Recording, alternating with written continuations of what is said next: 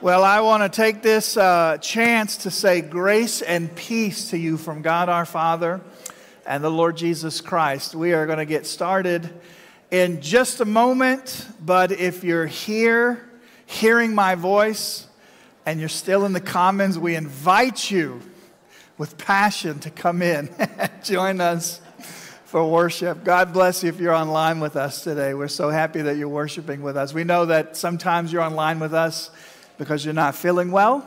And so maybe you're recovering from illness. We pray that the Lord restore you to your health. And if you're online because you're thinking about coming and visiting us, uh, we certainly pray that you will. We invite you to come and uh, be a part. Uh, and so I want to remind the church as we get ready to offer our voices and our worship to the Lord uh, that two Sundays ago we celebrated Resurrection Sunday. But do you remember that Jesus is still resurrected? Amen. And we're going to celebrate that today. One of the things that we work really hard, and we actually talk about this often, is for us to continually and perpetually do what we can to help us remember that it isn't just that Jesus rose from the dead, it's that we have been given life as well. And we remember what it was like before we did. And the scripture, you may hear the scripture this morning and say, I think I remember that. You should, because we look at this scripture all the time. This is uh, the scripture that we'll begin with this morning. It's from Ephesians chapter 2, and it just talks about who we were before Jesus rescued us. So if you're here or if you're online with us, I just want you to hear this scripture, receive the scripture this morning as we get ready to begin. God's word says, and you, me, all of us, we were dead in the trespasses and sins in which we once walked, following the course of this world, following the prince of the power of the air, the spirit that is at work in the sons of disobedience. Uh, we all once lived in these passions of our flesh, carrying out the desires of the body and the mind, and we were by nature children of wrath like the rest of mankind. And then there's this little phrase but God. But God. We're celebrating this morning because of this little phrase, but God. But God, being rich in mercy because of the great love with which He loved us, even when we were dead in our trespasses, made us alive together with Christ.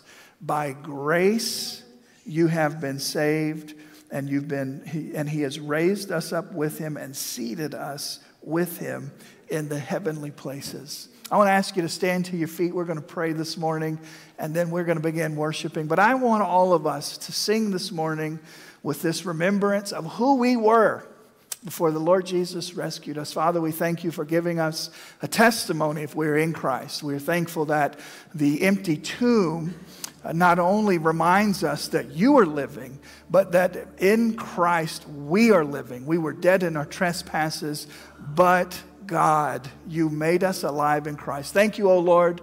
Hear us as we sing, see through to our hearts, meet us where we are. We thank you for your grace, for your mercy, for your love. We praise you this morning in Jesus' name. Amen.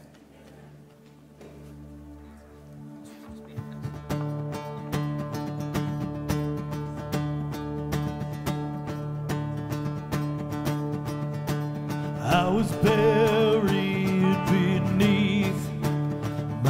shame. Who could carry that kind of weight? It was my tool till I met you. I was breathing, but not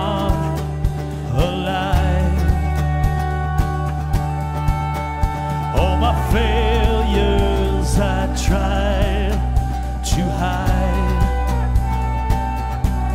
It was my truth till I met you. You called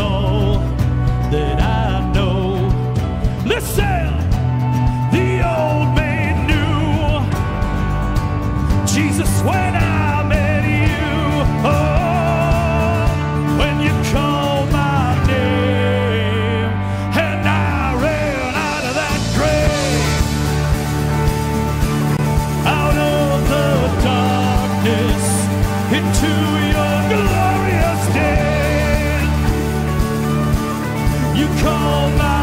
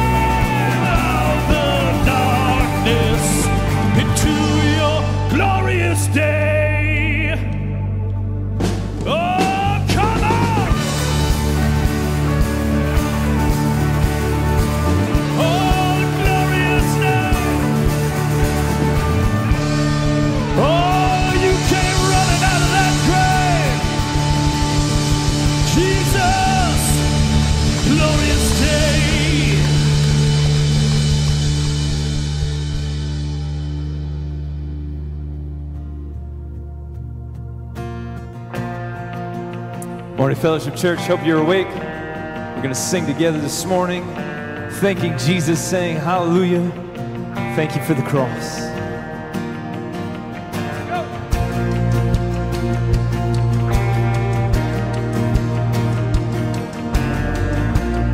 Sing, I'd be hopeless without your goodness. I would be hopeless without your goodness. I would be without your love. Slave to the darkness if it wasn't for the cross. You've won me. You have won me with your kindness. You chased me down when oh I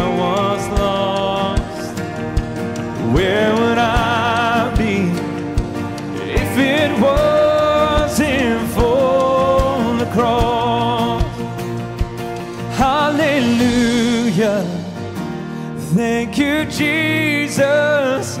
I was a prisoner, now I'm not. Oh, cause with your blood you, you bought my freedom. Oh, hallelujah for the cross. Hey!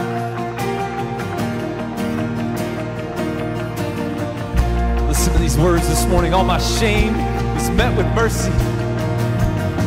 My shame was met with mercy. Amen. And now your mercy will be my song. Oh, the glory. Oh, the glory. Oh, the power of the cross.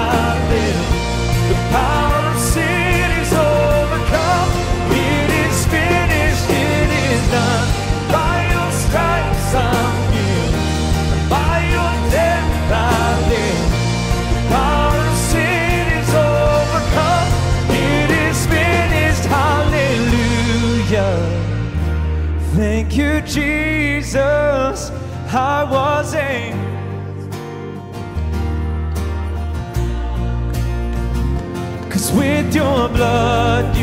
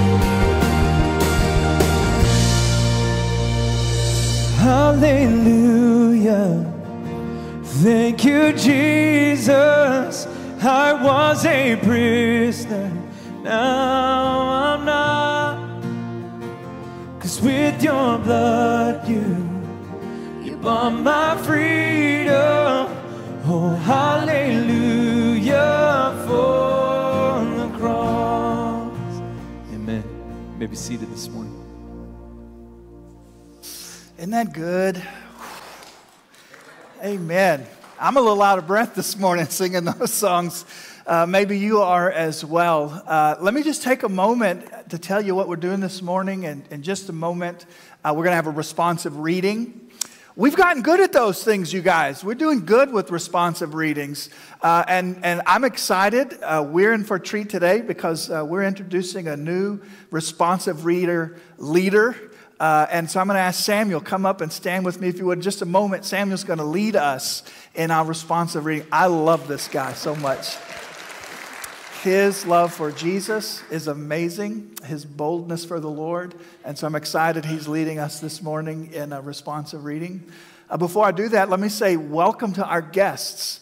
We all have been new at this church at some point, and we remember that it takes a lot. It takes a lot of courage to go to a new place, park in a new parking spot, walk through a new door, sit in a new seat. And so we work really hard just to remember that, that it does take a lot of courage. So we, that's not lost on us. If you're a guest today, welcome, welcome, welcome. Uh, I want to tell you something about our church. We're not a perfect church. We're not a perfect church, but we worship a perfect God. And if this is, if this is a place where you're seeking to grow in your faith, uh, then I just want to. This is a place. I'm sorry. I'm just so. I'm so excited that Samuel's next to me. To be honest with you, I just love this so much. Uh, but if you're looking to grow in your faith, this is a place for you. We we are not perfect, and that doesn't excuse. We we try really hard to follow Jesus. And we'll be talking about that today. Today's church uh, sermon is called Church Hurt. It's about when we get hurt in life in, in the body of Christ. But this is a place that you can grow in your faith. And so if you're a guest, then we invite you to come to the Welcome Center uh, at the end of the service. And if you are a first time guest today, I got to tell you guys, you picked the right Sunday. Today is what's called Newcomers Reception, which is a whole lunch for people who are new to our church. so if you're here as a guest, uh, we would love for you to stay after and hang out with us. Let us share some more uh, information with you about our church. And if you are a guest, you didn't know this, but last week there were so many diapers piled up here. I was on the on the uh, on the live stream, and I barely see Chris as he was preaching through the diapers. It was so awesome to see. Uh, and so our goal was 800. We needed 800. Uh, we had even 66 come in uh, today, so that brings our total to 10,699. Isn't that awesome? And I know all glory goes to God. And I know that as I encourage you, you would be quick to say, It is for the Lord, and it is for the Lord. But I'm so thankful that we are a body of Christ that cares about people. And that is an expression of that. So thank you so much for being a part of that. Samuel's waiting for me to get off the platform. So I'm going to go. Samuel's going to read the responsive reading. Remember, he reads the leader part and you read the congregation part. Go for it, Samuel. All right. The one true living God is good and trustworthy in every way. Deuteronomy chapter 7, verse 9 declares this to the people of God, saying, Know therefore that the Lord your God is God, the faithful God who keeps covenant and steadfast love with those who love him and keep his commandment to a thousand generations.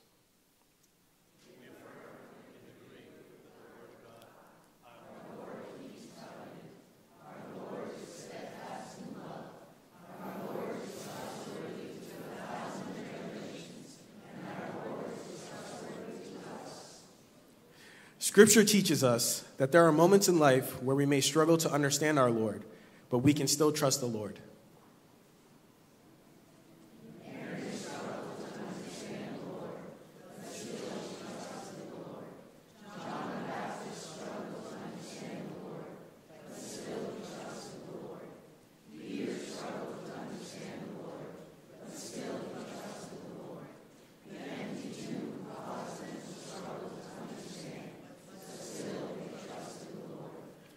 Jesus says, I am the way, the truth, and the life. No man comes to the Father except by me.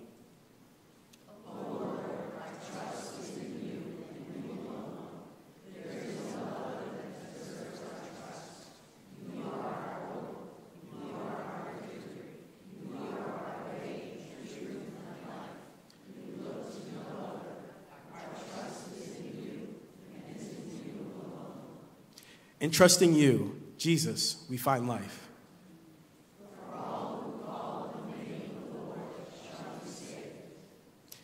It is sweet to trust in the name of Jesus, so we shall today, and we so we shall forevermore.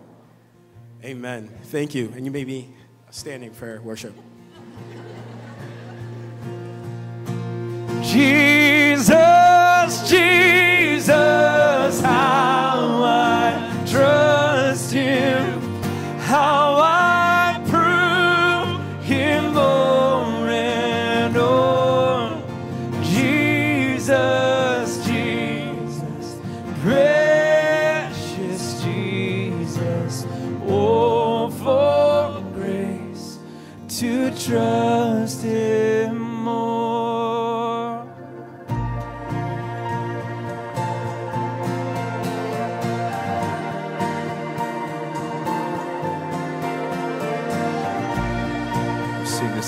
morning. Tis so sweet to trust in Jesus, to take him at his word. Tis so sweet to trust in Jesus, just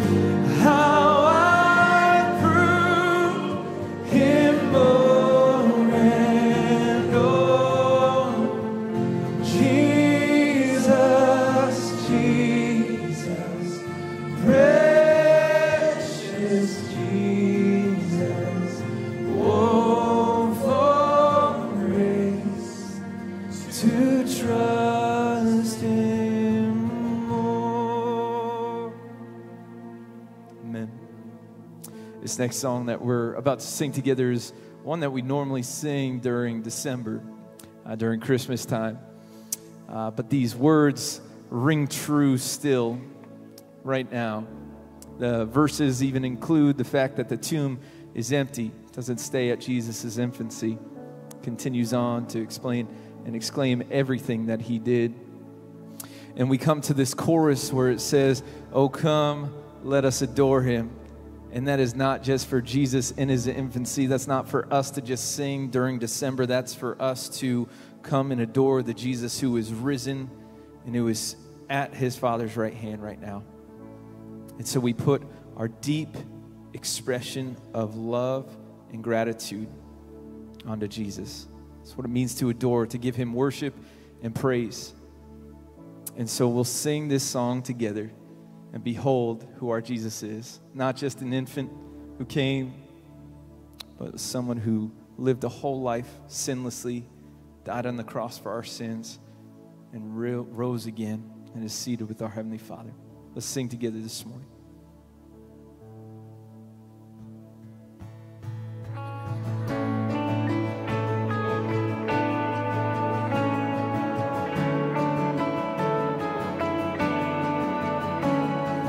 Behold, the King has come, divinity incarnate.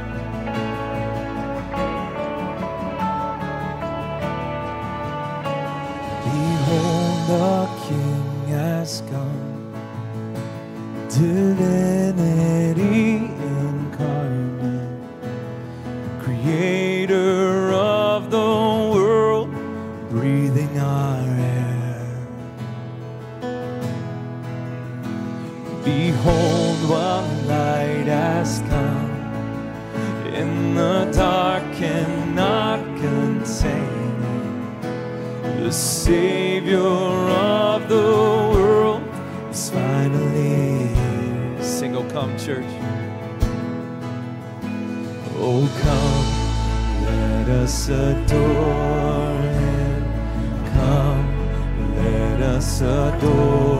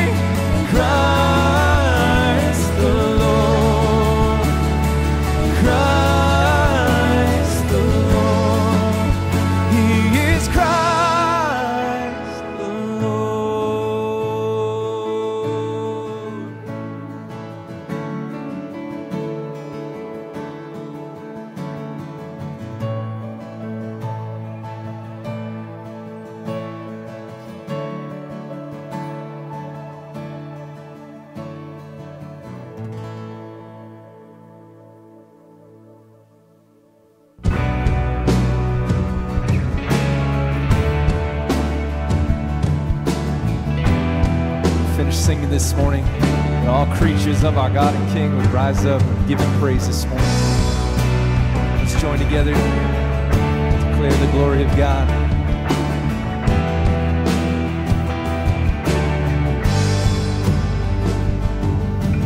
All creatures of our God and King, lift up your voice and bid us sing.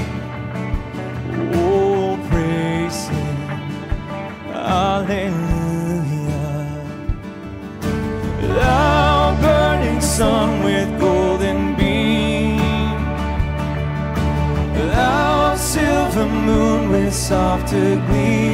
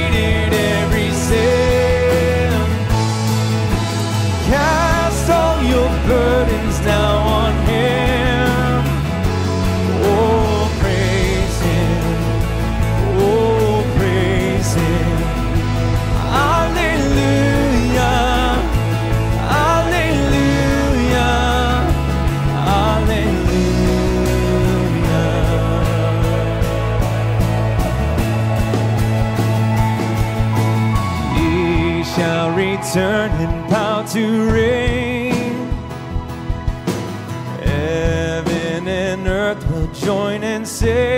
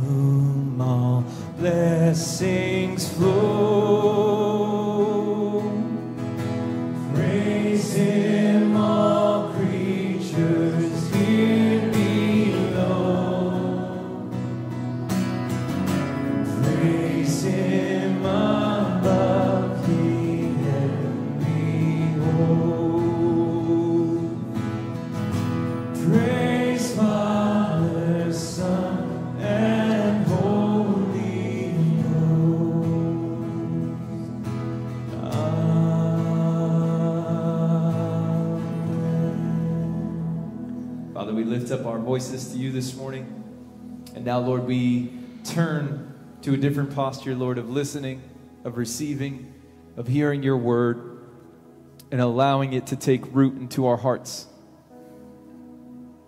Lord, I, I love that worship helps us to draw us closer to you, helps us to get in the right frame of mindset. Lord, maybe we have come in here with complete opposite mindset of wanting to worship.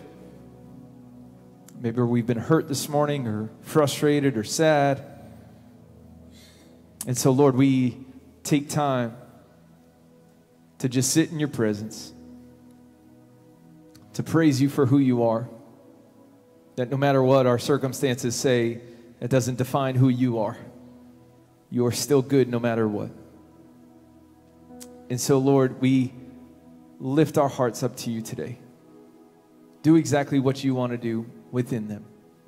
Pray over Pastor Zach this morning as he comes to give the message, Lord. Impart on him exactly what we need to hear, Holy Spirit. Give us the words that we need to hear. And Lord, I pray that it would fall on a soft heart and not ones that are hard. And so, Lord, we love you. We thank you for loving us first.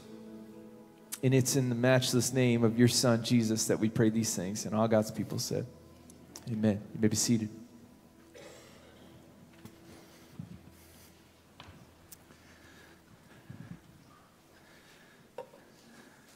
I've been so excited and uh, challenged, honestly, about getting ready for this uh, short three week uh, sermon series called Church Hurt. Uh, for a whole host of reasons, some of them I'll share with you this morning, and some uh, as we move on. You know, as a pastor, it kind of struck me a little bit that we even have a word or phrase to share to talk about people who've been hurt or damaged in the church. Like the fact that we even have this phrase, church hurt, says a lot about uh, the life of the body of Christ. And maybe you're here today and you're going, Well, I've never heard that phrase. Awesome. That's a good thing. If you've never uh, heard the phrase church hurt before, praise God for that. Uh, but church hurt is a phrase that inside of the body of Christ, you know how we have like this Christianese? Sometimes we use language that not rest of the world understands. Uh, if you're from the old school church, if, if somebody says, when did you walk the aisle? Well, that's Christianese for when did you give your life to Christ, right? And the invitation, when did you walk the aisle and come down and talk to the pastor about uh, receiving the Lord as your personal Lord and Savior? So I guess church hurt is kind of Christianese. It is the phrase that we use to describe when somebody in the church has been hurt by somebody in the church. And so I've really struggled with the fact that we even have a phrase for that. And as I've struggled with that and as I've been challenged in putting this message series together, I really paused and thought, well, eh, in a way, it makes a lot of sense because our church is a family. And I, I, don't think I have to say too much or go too long for you to understand that in family, there can be hurt or conflict or offense. Uh, in fact, probably if you just pause right now to think through your family and, and your immediate family and your extended family, you can probably think of somebody go, oh, that's the one. that everybody else is kind of like at odds with, right? And so I'm not saying that's good. I'm not saying we want to keep that there, but I'm just saying that as it relates to this series and even as it relates to us just having a phrase that describes when people in church have been hurt by people in church, it is a little bit predictable, isn't it? That when a church our size exists together, does life together, journeys together, laughs together and cries together and labors together and serves together, at some point, somebody in the family is going to be hurt. And so this series is designed for us to acknowledge that, for us to understand that there's a lot of people in the church today who have been hurt by other people in the church. But, but more than that, this, this series is designed to, to create a vision for how we might respond to church hurt. And today we're looking at the story of Hannah. That's in 1 Samuel chapter 1. If you're new to the church, uh, 1 Samuel's in the Old Testament. I invite you to turn there if you don't have a Bible and you need one. We'd love to give you a copy of the Bible after service. I know a lot of people uh, use it digitally, look, use their phone or their tablet. But if you're here and you don't have a copy of the Bible and need one, see us after services. We'd love to give you a copy. Uh, this morning we're looking at the life of Hannah. Next week we'll be in the New Testament, uh, discovering other places in God's Word and in the history of God's people where where people in the church have been hurt by other people in the church. But today, We are looking in 1 Samuel chapter 1. I'm going to look at about 20 verses, friends. And so when we jump into this and we start reading this, there's going to come a point where you think in your mind, whoa, he's read a lot of scriptures today. Oftentimes we look at one or maybe five verses, but I think today we need to look at all of these verses to really understand number one, what's going on. But secondly, like, how does all of this church hurt happen? So, this is the story of Hannah. There's going to be a lot of moments as I'm reading this where you're going to go, ooh. And, and I invite you to do that because part of us understanding of the life of Hannah is appreciating and understanding her difficult background. Look with me, if you would, starting in verse 1. There was a man in the hill country of Ephraim whose name was Elkanah. He was the son of Jeroham, the son of Elihu, son of Tohu, son of Zuph. How would you like that to be your lineage? Those are some strange names to this American ear, I've got to tell you. He was an Ephraimite. He had two wives. There's your first, ooh.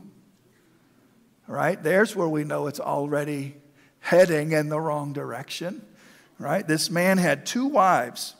The name of the one was Hannah, and the name of the other was Peninnah.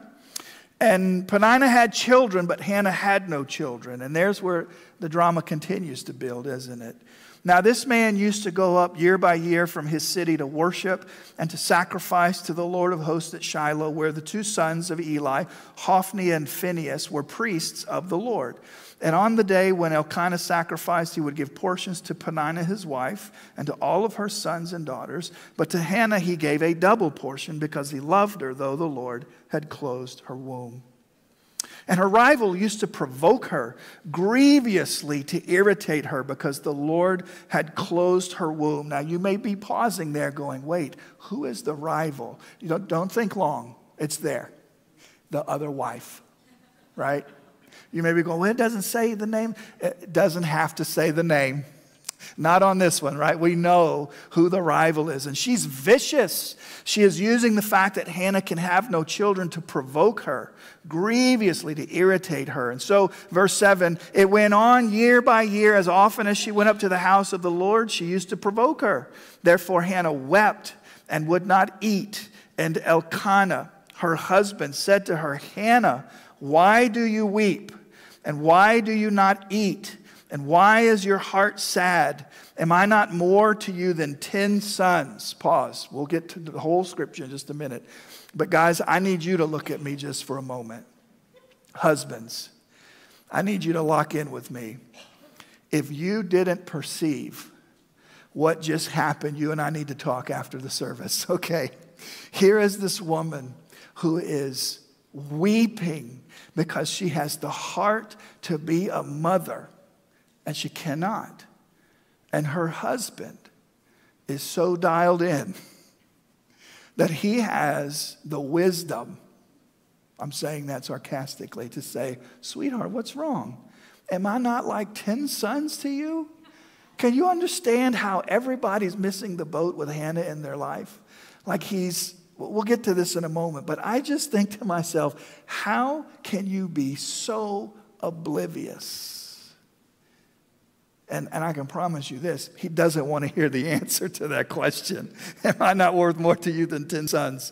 Uh, so after they had eaten and drunk in Shiloh, I'm in verse 9 if you're following. Hannah got up, she rose. Now Eli the priest was sitting in the seat beside the doorpost of the temple of the Lord. She was deeply distressed Hannah, and she prayed to the Lord. And she wept bitterly, and she vowed a vow and said, O Lord of hosts, if you will indeed look on the affliction of your servant, and you will remember me and not forget your servant, but you will give to your servant a son then I will give him to the Lord all of the days of his life, and no razor shall touch his head. If that last part threw you off, that was just a commitment in the Old Testament sometimes people would make uh, with this specific type of vow to God that they would not cut their hair. And she continued praying before the Lord. And Eli, the priest, who's there in the temple as well, he observed her mouth. Hannah was speaking in her heart, and her, only her lips were moving, and her voice was not heard. And therefore, Eli took her to be a drunken woman. And Eli said to her, How long will you go on being drunk? Put your wine away from you. But Hannah answered, No, my Lord. I'm a woman troubled in my spirit. I have drunk neither wine nor strong drink, but I've been pouring out my soul before the Lord. Do not regard your servant as a worthless woman, for all along I've been speaking out of my great anxiety and vexation. And then Eli answered, Go in peace. The God of Israel will grant your petition that you've made to him. And she said, Let your servant find favor in your eyes. And then the woman went her way and ate, and her face was no longer sad. And they rose early in the morning and they worshiped before the Lord. And they went back to their house. And then Elkanah knew Hannah, his wife, and the Lord remembered her. And in due time, Hannah conceived and bore a son. And she called his name Samuel, for she said, I have asked for him from the Lord. If you have your notes, you see, we're really just going to walk through this and think to ourselves, where's this church hurt coming from? And what's up with this guy, Eli? Like, what planet is he living on, right?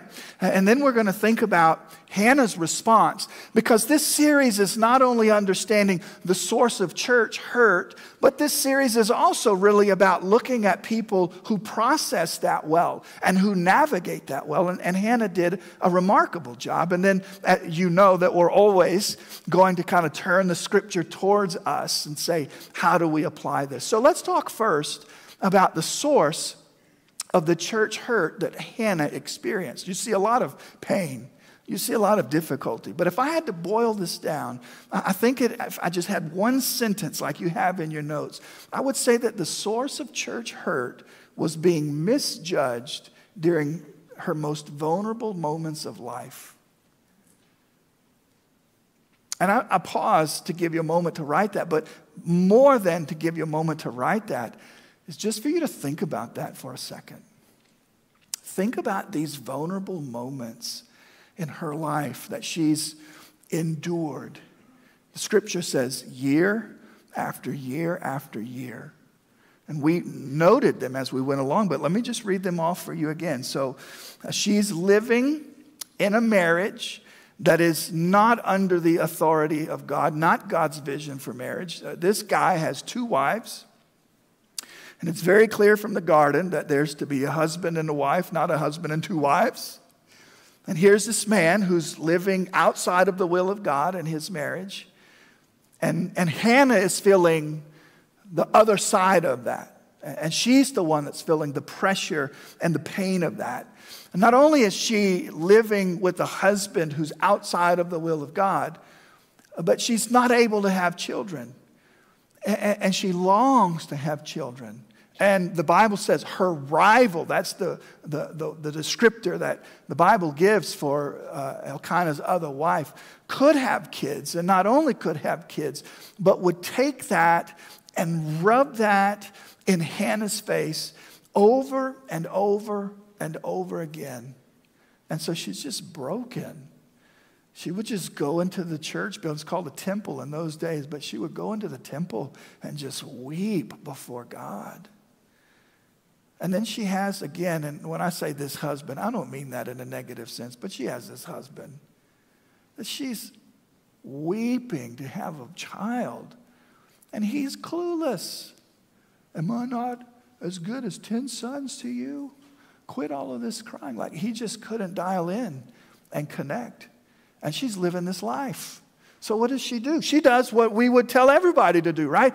Go in front of God. Go get with God. Pour all of that stuff out and just get in the presence of God and yell and weep and pray and just be in the presence of God. Sometimes that's the only thing that helps. And she does that faithfully. And then what happens? This priest, his name's Eli, he's never seen anybody have this type of moment with God. It is so raw and intense. And he misjudges her. In her most vulnerable moments, he misjudges her. And he thinks she's a drunk woman. He says, Hey, you drunk? How long are you going to be a drunk? Stop, put all of this beside you, right? Like he is, he is criticized. She is at the altar of God And this priest walks over and totally misjudges the whole situation. So there's where the church hurt comes from. Like she's trying to live out her faith. She's trying to be obedient and be in the presence of God. And there's this figure in the temple that completely misjudges her. Now, the reason that I think this is significant is because I don't think this just happened 5,000 years ago or wherever it was. I think you and I, many people in this room, maybe online, carry this experience with us. I think many of us have the experience of seeking God and somebody, maybe it was a friend or maybe not, maybe it was like a priest or a pastor who completely misjudged us. And so I want to take a second and I want for us not just to understand the source of the church hurt, but I want for us to see Eli's mistakes. Now, uh, you could say mistake, like singular, right? But if you were just to take that interaction and say, how do we break this down to really understand what happened? Like, what's going through Eli's mind? Like, how does this, how does a person who's carrying baggage and comes to the church and comes down here and starts praying, how does a pastor miss it so bad? That he accuses this person of something that isn't even remotely close. I want to share with you how. If you're making notes this morning, this is the second section, which is Eli's mistakes. The first mistake that Eli makes is that he is missing a lot of context.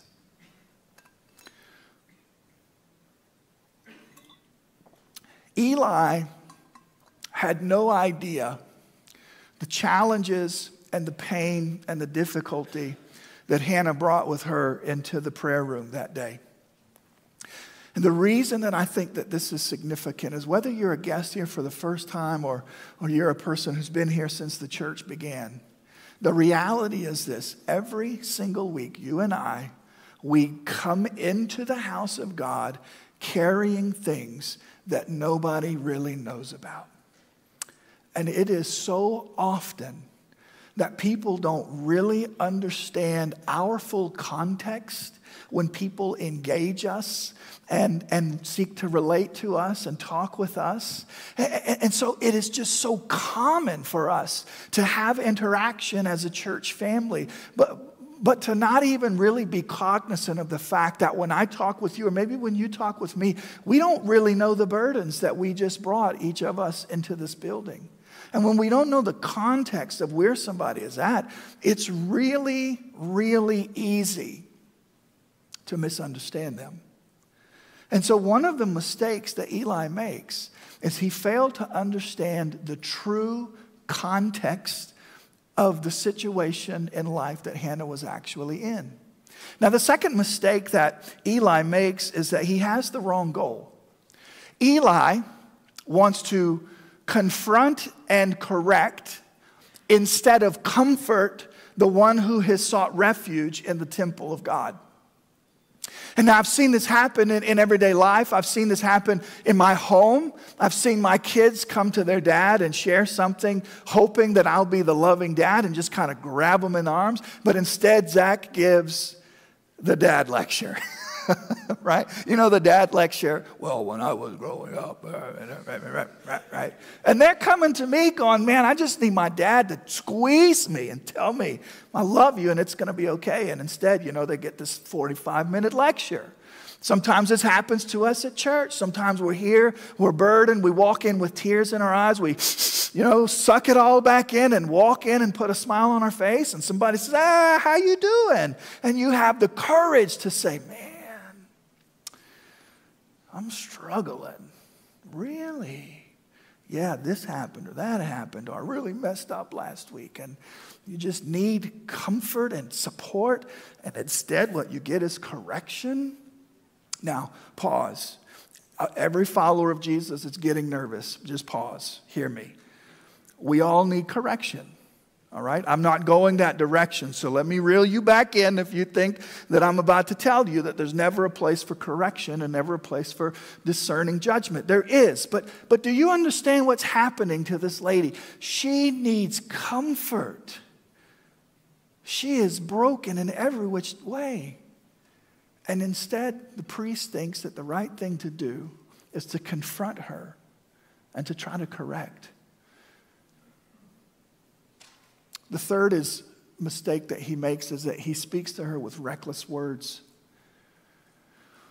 Now, I'm going to admit something because I think it's important for us to see this nuance, and, and I just want to really be clear that there's a limitation that you and I have when we, all these years later, look at this text. We don't know the tone of Eli, nor are we given his motivation or his intentions. All we know is what he said. We don't know the tone. But I will be honest with you, when Pastor Zach reads this, I read it with a little condescending tone.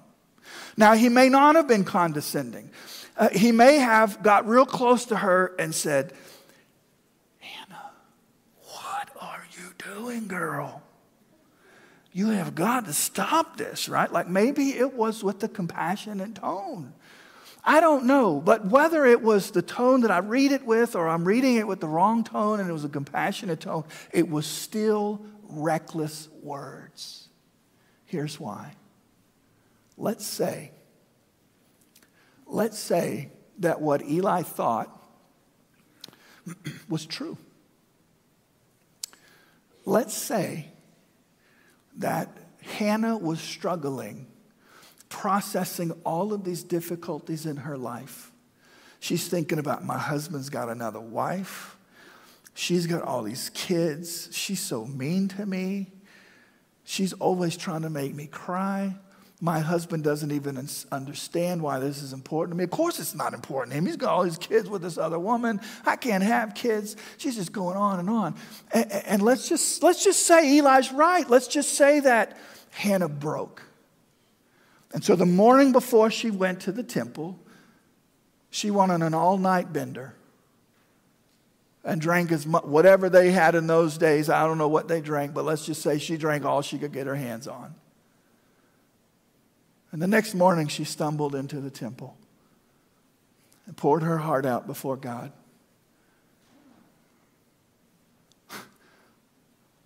Where else should she be? Where else should she be besides the altar of God? Like, so what if Eli would have been right? This would have been the place for her. And so he thinks that his role is just to speak all of this rebuke and correction onto her. And even if he would have been right about the judgment, it still was reckless. This is the greatest place for somebody who's struggling with that the altar of God pouring out your heart before God. And so Eli has, makes all of these mistakes, all of this church hurt. And so we know the source, we see the mistakes that Eli made. And I got to tell you, as a pastor, can I just tell you how scary this passage is to me? I sit in my office and half laugh out loud, going, How can there be somebody as clueless as Eli? And then think to myself, Oh, Lord in heaven, please don't ever let me mess up this bad. I can't imagine how I would feel if I misjudged somebody like that. And so you noticed when she corrected him and he said, Oh, may the Lord bless you and give you everything that you want. Out of total embarrassment is the way that I read that, right? But his mistakes are significant. And I, and I articulate them not to be mean to Eli, but I articulate them because these very things are prevalent in our life today. We struggle. We struggle with understanding context. Sometimes we think that a person needs a rebuke when they need comfort. And to be honest, sometimes we think somebody needs comfort and they need correction. Sometimes we speak with reckless words. Do you know that you can be right and use reckless words and do more damage than when you started the conversation? Did you know you can have the right perspective and use reckless words and do so much damage? So, church hurt isn't just something that Hannah experienced. I think it's something that many of us have experienced. And what I want for us to do is not only look at Eli and go, oh, What are you thinking, man? But I want for us to look at Hannah's response. Because if you're making notes this morning, I, I gave you two words to really capture Hannah's responses. And, that is the, third, first word is gracious, but the second word is correction. And here's what I want you to see about Hannah. What she didn't do was get angry, jump up, storm out the out the temple and yell as she's slamming the door, I'm never coming back. She didn't do that. She didn't go home, call all of her friends. Do you know what just happened to me at the temple? You should never go back to that temple. Let me just tell you right now. They're horrible down there. She didn't go online, leave a one star review for the Jerusalem temple, right? Like, I'm laughing about this, but you guys, this type of stuff happens in, real life. I got to tell you this. These types of things happen. Look at what she did. Now, because what she also didn't do is just quietly accept the abuse. She stood up for herself. She addressed the situation. She handled this so well, you guys. May I pray that if I ever find myself in this situation, that I will be as courageous as Hannah. I want you to look at her in verse 15. Look at her response with me this morning. Hear what she said. Verse 15 No, my Lord. Huh. Just right from the jump. Nope. No, my Lord. She's respectful. No, my Lord, I'm a woman troubled in my spirit. I've drunk neither wine nor strong drink, but I've been pouring out my soul before the Lord. Do not regard your servant as a worthless woman. Do you see that she's making commands of the priest now? Look at how strong she's responding to this. It is gracious, but it is to the point. Do not regard your servant as a worthless. For I've been speaking out of my great anxiety and my vexation. She stood up for herself in such a powerful, meaningful, gracious way. She disagreed immediately verbally. She said, No, no, no, no, this is not what's going on. And she explained what was going on. She filled in the missing pieces. She said, Look, you're seeing it this way, but I'm telling you, this is what it is. And then Eli responds, Oh my goodness, go in peace, and may the God of Israel grant your petition that you've made to him. So I think it's important for us not just to see all of these mistakes of Eli, but to really behold Hannah's response because it isn't a response that is unhealthy in storming out and trying to cause chaos and doing it's not that but nor is it ignoring the issue which sometimes quite frankly is what happens when we're inside of the family of god and somebody's offended or somebody's hurt and, and you're like well i don't know what to do. And like, well let's just don't say anything right? Just shh, be quiet don't upset everything and we sweep it under the rug and we act like it never happened and now there's this thing inside of the church faith. She doesn't do either one of those. She confronts it so well. And I commend her response to you as an option if you ever experience church hurt. And so then, with the time we have left, the question is how do we apply this to our life? You see in your notes, I want to share with you three when I say practical, I don't mean non important. These are important but practical ways that we can take the weight of what we've just looked at and go, how do I live that out? Because I think we can all feel the weight of it. We all understand church hurt exists. We all can look at Hannah and go, oh, bless her heart. She's just got difficulty after difficulty. And, and then we hear Eli and we just, it's like looking at a car wreck, right? Like you don't want to do it, but you're like, oh, this is horrible. And then her response. So, what do we learn from that? Well, uh, the first thing that I want to do to apply it to our life is giving you a negative, like, don't do this, okay? I, I want to encourage you don't let people keep you from God. This is one of the most incredible things about Hannah is that in that temple, she was not going to let Eli, even though he was a priest, even though he was like the boss of the temple or whatever, right? He, he was a person of influence, a person of power, but she was not going to let his misjudgment keep her from God. And the reason I think that's important is because I know a lot of people that I love dearly who have a hard time walking with God because somebody offended them at some point in their life. And there's just that, that, that double tragedy that a person would have the power to keep them. Eli, Hannah wouldn't give Eli that power. Uh, You may be important in the temple. You may be the priest. I respect you. She said, No, my Lord. You know, she was very gracious. But she said, One thing's going to be true today. You will not keep me from being with my God. I remember when I turned 21. At the time, I was not married to Crystal. We were dating. And uh, I was in, the, in talks with her parents uh, to ask her to marry me. And, and uh, so it was the season before we were engaged, before we got married. And I turned 21. And I'll never forget, Alan and Debbie said, Zach, you know, we want to celebrate you and take you out for your 21st birthday. So we want you to meet us at this restaurant. And I was like, whoa, this is a fancy restaurant. I'd never been. I'd heard people talk about this restaurant, but I'm 21. I don't have two dimes to rub together, right? Like I'm, I've never been there before. So I was like, oh, cool. So we're going to go there. So, you know, I, I show up and uh, I get out of my car, and right there from the restaurant, somebody tries to steal my car from me. I'd never had this happen before, right? Like I get out and this person just gets in my car. And I look at them like they're crazy and said, Oh, well, we park it for you and bring it back. I'm like, Oh, okay, I didn't know about that.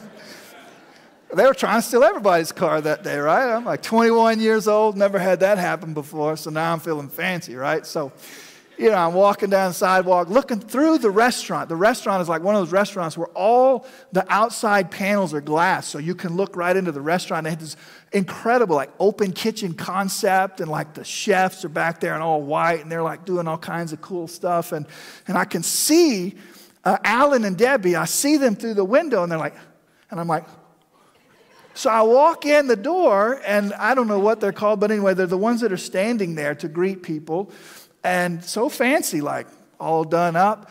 And this guy looks at me and says, I see we're coming straight from the gym today. I was like, you know, I've never been the smartest person in the room, but I knew that was an insult. And I remember thinking to myself, man, Zach, what are you going to do? I, I, like, part of me was sad. Part of me, like, I could just feel my temperature rising.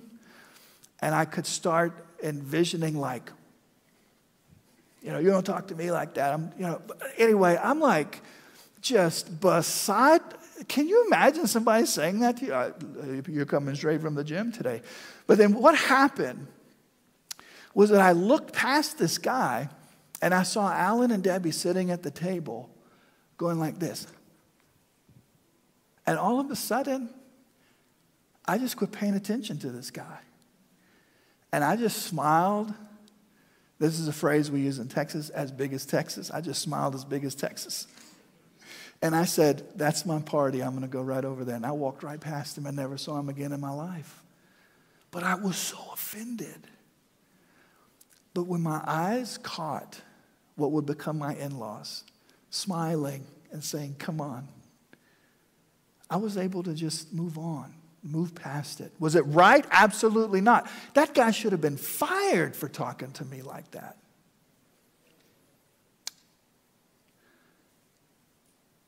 But I refused to allow him to stop me from going to sitting with my in laws and having a magnificent meal.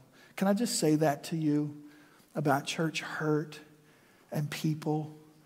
It may be, and, and, and in fact, I would be so bold as to say that if, if you stick around the fellowship long enough, eventually somebody will say something to you and you'll go, well, what, what do they mean by that? What do they mean by that? Are they being rude to me? And maybe so. And if correction needs to happen, then correction needs to happen. But my prayer is that you would be able to look past that and see the Son of God saying, Come on, come on in.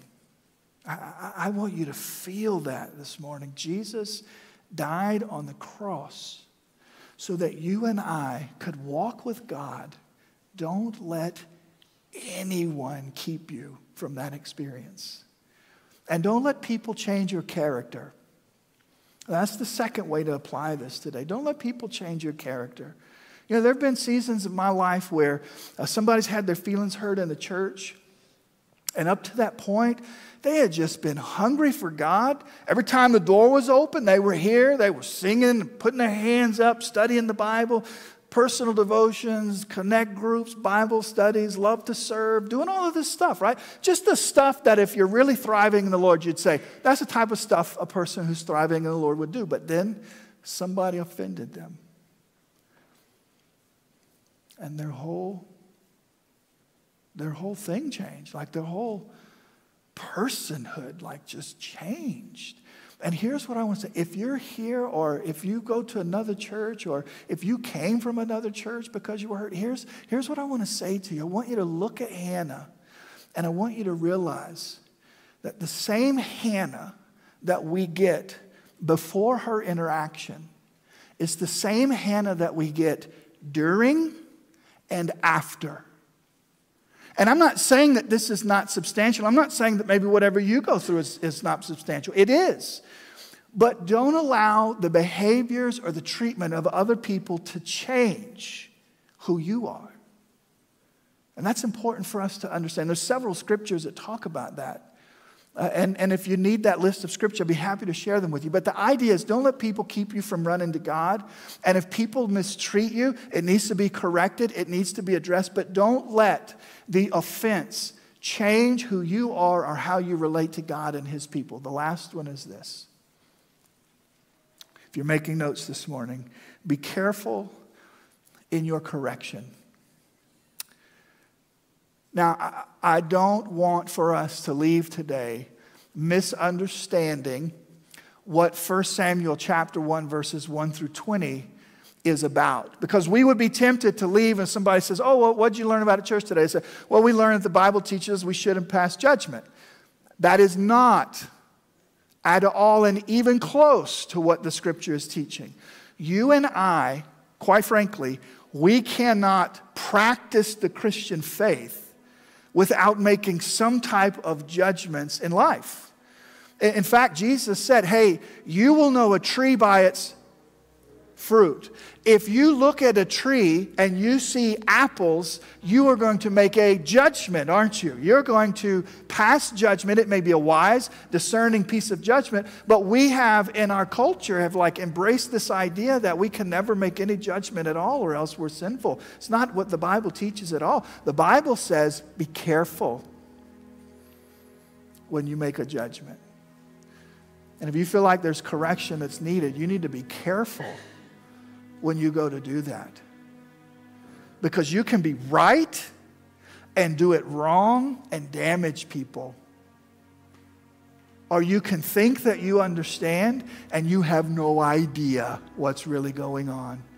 And you can step into that moment and create more hurt than before.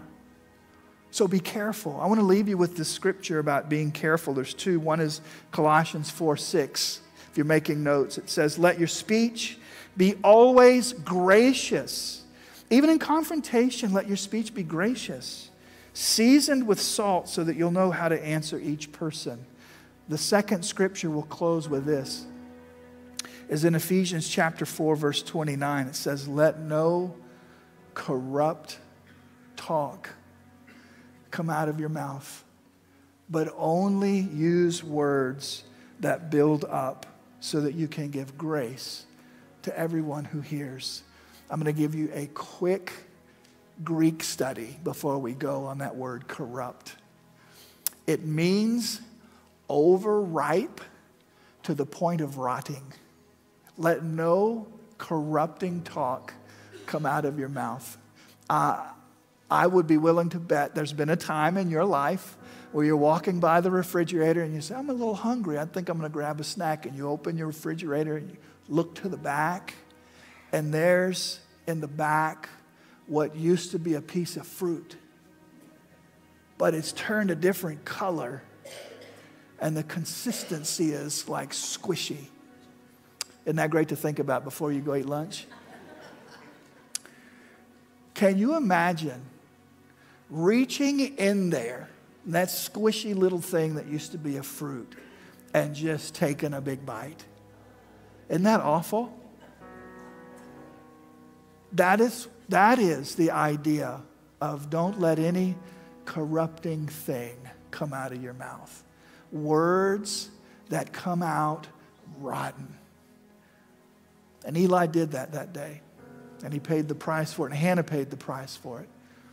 So as we continue and we think about not only putting ourselves in Hannah's shoes, but being cautious that we're not in Eli's shoes, I just want for us to, to understand that in a family, we have to really pay attention to these types of things. I want to ask you to stand as we close. I know our time is out.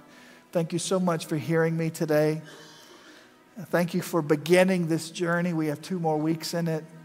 I want to close just with a brief prayer before we offer our blessing and are dismissed.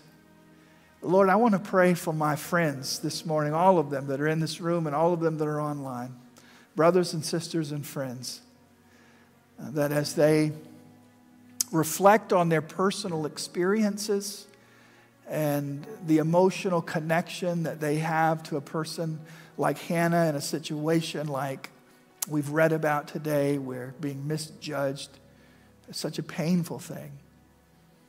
I pray that you would give us grace for the journey and that through this week and the next two weeks, our church would be stronger and healthier because we've acknowledged that painful moments exist in the body of Christ and we've looked to you and to your word for how to navigate those. Bless us, Lord, as we travel this path, we pray. In Jesus' name, amen. Amen. Uh, again, thanks for being here today. It has been so good to be back. I missed you last week. I uh, appreciate Chris a whole bunch for being willing to lead us through teaching the Word of God. And uh, next week, I invite you to come. We're going to continue talking about church hurt. If you have somebody in your friendship circle, uh, that has experienced that, I encourage you to invite them. Uh, we will be very delicate and tender uh, through this series. But as we go today, I wonder if you would place your hands out to receive this blessing as we conclude. Hear, O Church of God, this blessing. Receive it. The Lord bless you and keep you. The Lord make his face to shine upon you and be gracious to you and the Lord lift up his countenance upon you and give you peace. Lord, we will go with peace because you have given us peace. In Jesus' name, amen. You are dismissed. You are loved. God bless you. Have a great week.